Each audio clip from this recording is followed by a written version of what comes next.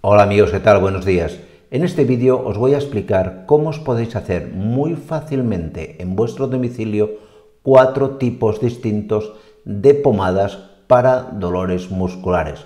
Vais a ver que son pomadas caseras, pomadas naturales muy efectivas para combatir estos molestos dolores musculares. ¿De acuerdo? Pues no me enrollo más y en el vídeo os lo cuento.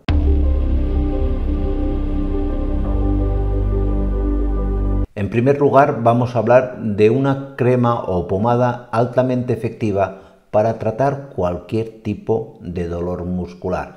Me estoy refiriendo, como no, a las pomadas de alcanfor. El alcanfor es un producto natural, penséis, ya sé que a algunas personas les, les, parece que es un producto artificial, pero es completamente natural. Es una sustancia cristalina procedente de la planta Laurus camphora que tiene básicamente dos grandes tipos de características. En primer lugar, es un principio activo altamente antiespasmódico y con grandes propiedades analgésicas. Y para que os hagáis esta pomada, solamente tenéis que comprar los siguientes componentes que podéis encontrar desde en herboristerías, páginas web y demás. De hecho, alguno de ellos lo pondremos también aquí en la descripción porque los podéis encontrar también en Amazon y veréis que son muy, muy económicos. Vais a necesitar 5 gotas de aceite de alcanfor, 2 cucharaditas de cera de abejas, media taza de aceite de coco y 5 gotas de aceite de menta y aceite de eucalipto, 5 de cada una de ellas. Y la preparación es muy muy sencilla. Cogéis el aceite de coco y la cera y la ponéis en un microondas hasta que se derrita. Esto en medio de un minuto se ha derretido. Cuando lo saquéis del microondas, lo removéis, estos dos componentes que se homogenicen perfectamente y cuando todavía no esté frío del todo es cuando tenéis que echar los aceites de menta, eucalipto y alcanfor. Lo movéis a remover, muy bien removido, que se homogenice todo y ya dejáis descansar, ya dejáis enfriar esta mezcla. Esto sobre cualquier superficie muscular afectada de vuestro organismo os va a aliviar en muy poco tiempo el dolor. Tiene como efecto un poquito más desagradable ese olor tan fuerte y penetrante que va a tener el aceite de alcanfor, pero en estas situaciones creo que va a ser lo menos importante. Luego tenemos las pomadas de arnica. Las pomadas de arnica tienen un alto poder analgésico, antiinflamatorio y de, reducir la rubefacción, el enrojecimiento que pueda tener la zona muscular afectada del dolor. Pensar que estas pomadas o cremas de árnica se vienen produciendo, se vienen aplicando desde la época de los romanos. Era lo que en cualquier circo romano tenían para, por ejemplo, aliviar el dolor muscular de los gladiadores. Esto se ve en muchísimas películas de romanos, fijaros que se aplica ese tipo de ungüento y para su preparación necesitáis tan solo cuatro componentes. En primer lugar, tres cucharadas de arcilla blanca, cinco gotas de aceite vegetal de arnica y tres gotas de aceite esencial de menta junto con tres gotas de aceite esencial de manzanilla.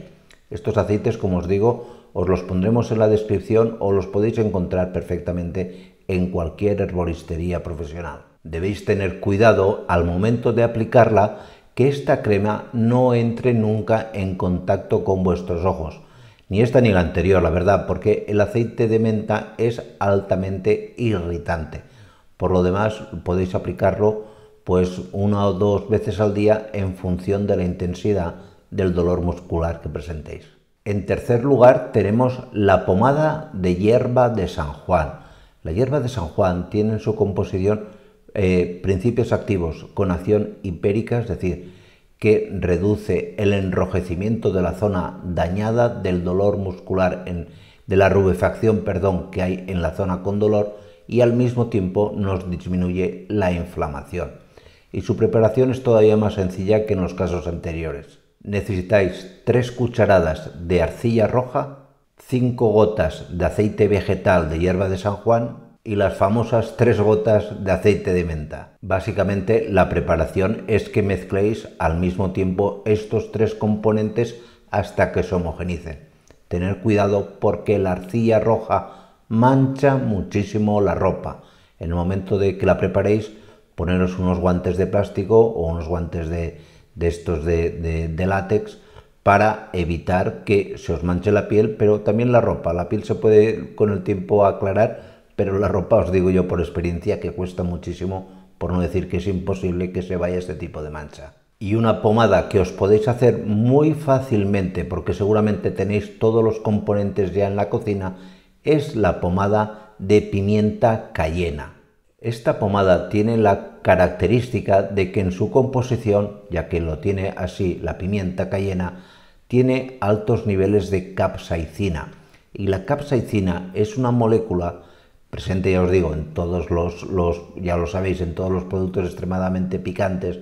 La capsaicina, como os decía, tiene la propiedad de inhibir la transmisión del dolor desde la zona afectada al sistema nervioso central, con lo cual no tiene en sí mismo un poder antiinflamatorio per se, pero sí que aplicándoos este tipo de crema notaréis que la zona ya no os duele, que es un poco lo que pretendemos en definitiva con este tipo de cremas.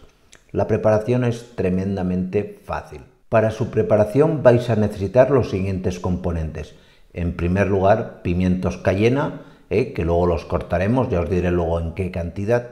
Aceite de oliva o aceite de almendras, y una cucharada de cera de abeja. ¿Y cómo se prepara? Pues en primer lugar os buscáis un frasco, el que queráis, me da igual, de un tamaño o de otro, y tenéis que rellenar ese frasco las tres cuartas partes de pimientos cayena troceados. Me da igual que cojáis de tipo de pimiento cayena, los hay de varios tipos, el que tengáis más a mano, pues rellenáis el frasquito tres cuartas partes, que os quede siempre una cuarta parte del frasco vacío, que luego vamos a rellenar. Lo vamos a rellenar, como no, agregando el aceite de oliva o el aceite de almendra, hasta prácticamente rebosar, hasta la parte de arriba de la tapa. Este frasco lo tenéis que poner en una olla al baño María para que cueza durante como mínimo dos horas a fuego lento. Después, cuando ya ha ido cociendo y ha, ido, ha estado en el baño María estas dos horas, el aceite de, ese frasco estará altamente enriquecido en altos niveles de capsaicina. Filtráis, es decir, separáis los restos de pimiento, por un lado os quedáis con los pimientos que, bueno, podéis dar a otro uso, y por otro lado ese aceite enriquecido. Y ese aceite enriquecido eh, lo mezcláis luego cuando se atempere con la cera de abeja. Lo calentáis un poquito para que se homogenice y os queda una crema que podéis aplicaros de dos o tres veces al día para aliviar cualquier tipo de dolor muscular. ¿De acuerdo? Pues nada más, muchísimas gracias y nos vemos en la siguiente. Cuidaros mucho. Chao.